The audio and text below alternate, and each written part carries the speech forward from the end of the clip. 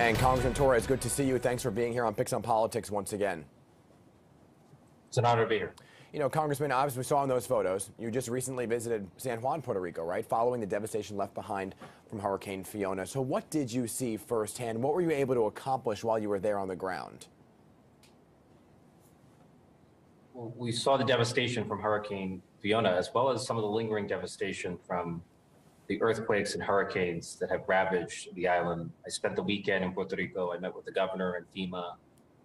Um, and the most pressing need is the electric grid, mm-hmm. uh, which desperately needs to be rebuilt. Uh, the electric grid is so fragile that it can easily collapse under the weight of even a category one hurricane.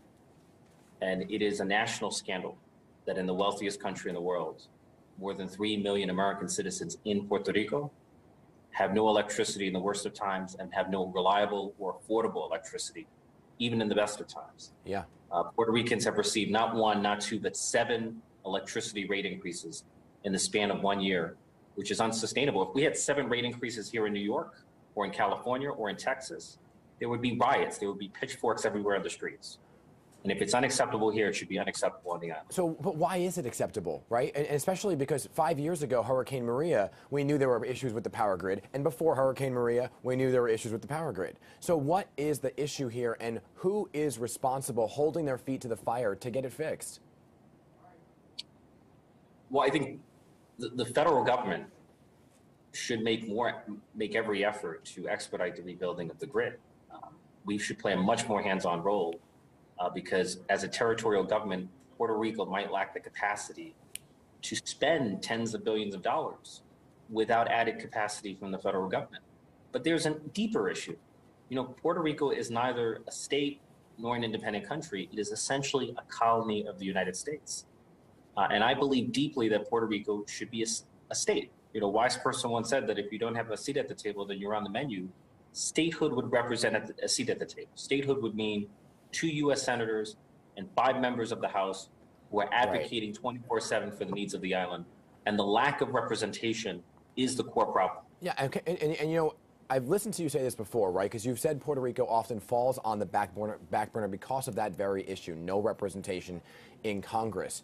How do you change that, right? Are there efforts that you are putting forward to change it? Well, we do have legislation in Congress that would grant statehood to Puerto Rico or would allow Puerto Rico to have a binding referendum that would result in statehood. Um, I also have legislation that would expedite the elimination of the Financial Oversight Management Board, which has been part of the problem. You know, Puerto Rico's electric grid mm-hmm. has no diversification, has virtually no renewable energy. And Puerto Rico has been struggling to transition to clean energy because of the Financial Control Board, which has prevented Puerto Rico from bringing renewable energy from 2% to 20% of its electricity. So, right, a more diversified electric grid would mean more resilience. Yeah. Uh, what what lessons were learned briefly? Because I want to move on to a different topic. What lessons was learned from Maria to Fiona to today, or are they the same?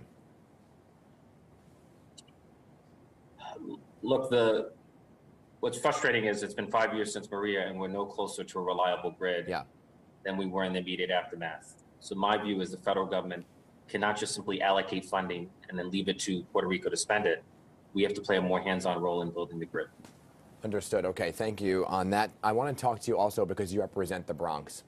And Mayor Eric Adams has received some mixed response right here from people in New York when he made uh, when he when he opened these tent cities in the Bronx regarding the migrants and the asylum seekers, right? Saying that that was necessary to have that because the infrastructure in New York just can't handle over 13,000 at once. What are your thoughts on these 10 cities right here?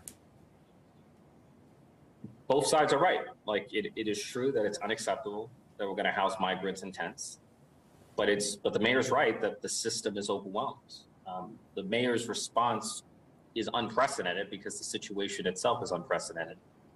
And according to an analysis done by the New York Times, if, if the wave of migration continues to grow at the same trajectory for one year, the family shelter population is going to double. And so the capacity of our shelter system has been completely overwhelmed.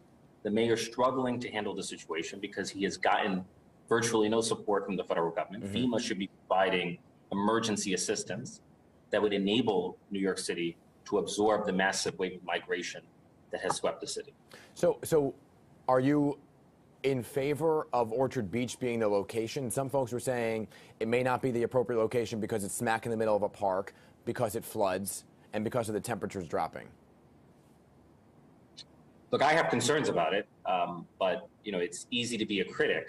No one's offering an alternative, and the fact is the mayor's capacity has been overwhelmed because he's receiving no support from the federal government. So, you know, rather than critique, I want to do everything I can to be part of the solution and to play a role in securing federal funds. And that should be the priority of the New York City congressional delegation. Understood. So, so where does that stand right now, right? Getting that money, the necessary funds to help out with the situation, where does that stand? Look, the goal is when we pass an omnibus in, in the months to come toward the end of the year, that it should include funding to address uh, the migrant crisis that has disproportionately affected New York City. Understood. Can you do us a favor? Keep us posted on that, okay? Um, cool. It's such an important issue. And Congressman Torres, if you hear anything from Puerto Rico as well, come back to us and let us know, okay? Because we're very interested in what's happening there. Will do. Good to have you, as always.